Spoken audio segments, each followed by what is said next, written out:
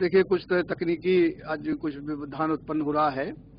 तो अभी हम चर्चा कर रहे थे कि स्थान के चुनाव तक अपनी बात हुई थी, उद्यम स्थापना के लिए स्थान का चुनाव, स्थान इस तरह का हो, जहाँ पर कि समस्त प्रकार की सुविधाएँ हों, और ये भी देखना होगा कि ज़मीन जो है, सस्ती अगर ज़मीन मिलती है, ऐसी ज़मीन का हमको चयन होगा।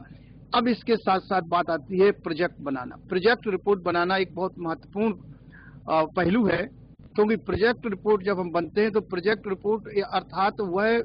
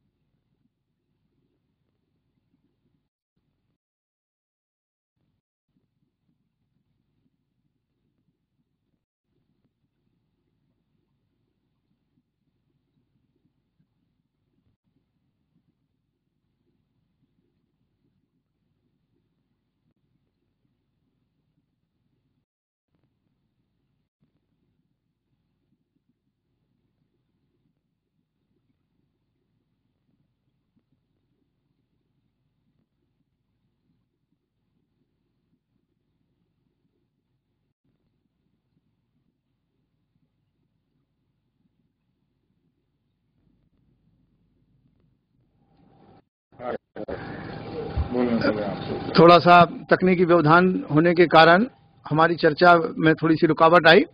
मैं आप लोगों से एक बात कहना चाहता हूँ कि हमने चर्चा की कि स्वरोजगार क्यों आवश्यक है? स्वरोजगार स्थापना के लिए हमको किन किन चीज़ों की आवश्यकता है? भूमि श्रम, पूंजी, साहस और संगठन, ये पाँच उत्पादन घटक हैं जिनकी हमको आवश्यकता है। आपको किस तरह से इकाई का नाम निर्धारण करना है? किस तरह से आपको वित्तीय संसाधनों को जुट, जुटाना है और किस तरह से आपको प्रोजेक्ट रिपोर्ट बनानी है। अब मुझे एक आखिरी में एक बात आपसे कहनी है कि कई शासकीय योजनाएँ इस तरह की हैं चाहे स्टैंड योजना स्टार्टअप योजना मेक इन इंडिया के तहत कई योजनाएँ चल रही हैं जिसमें कि हमारा विद्यार्थी स्वयं का उद्यम या स्वयं का रोज़गार जो है वो प्रारंभ कर सकता है उद्योग कर सकता है। इसके साथ साथ भी हर ज़िले में एक जिला उद्योग केंद्र है। उस जिला उद्योग केंद्र में आप प्रशिक्षण भी प्राप्त कर सकते हैं और उस प्रशिक्षण के साथ साथ आप जो है, वो उद्यम को लगाने के लिए आवश्यक पूंजी की प्राप्ति या वित्तीय संसाधन की प्राप्ति आपके प्रोजेक्ट के आधार पर जब आप प्रोजेक्ट को बनाकर जिला उद्योग केंद्र में सबमिट करते हैं तो जिला उद्योग केंद्र भी उसका, उसकी जाँच परख करने के उपरांत जो है, उसको वित्त पोषित कर सकता है, उसको अपनी अनुशंसा के साथ बैंक को वह आपकी प्रोजेक्ट रिपोर्ट भेज देते हैं, जिससे कि आपको अपनी इका के निर्माण में जो है राशि की प्राप्ति होती है। इस तरह से मेरा आपसे अनुरोध है कि आप जिला उद्योग केंद्र से अवश्य संपर्क करें, अगर उद्यम लाने की हम प्रयास करते हैं, और इसके साथ साथ ही आप देखेंगे कि खादी ग्राम उद्योग एक ऐसा क्षेत्र है जिसमें आप देखेंगे उसमें छियानवे उद्योग हैं। 96 उद्योग ऐसे हैं जो कि बहुत ही कम पूंजी के आधार पर जो है उद्योग की स्थापना की जा सकती है, वो उद्यम प्रारंभ हो सकता है। वह खादी ग्राम उद्योग को जो उद्योग हैं, उनको भी आप अध्ययन करें। जिला उद्योग केंद्र में उसकी लिस्ट आपको प्राप्त हो जाएगी।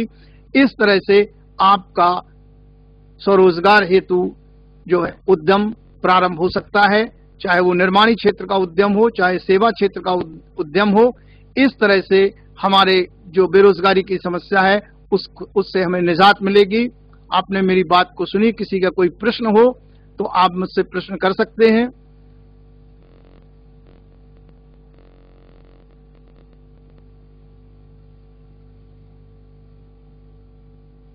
चलिए, आगामी सत्र में हम मेक इन इंडिया पर चर्चा करेंगे।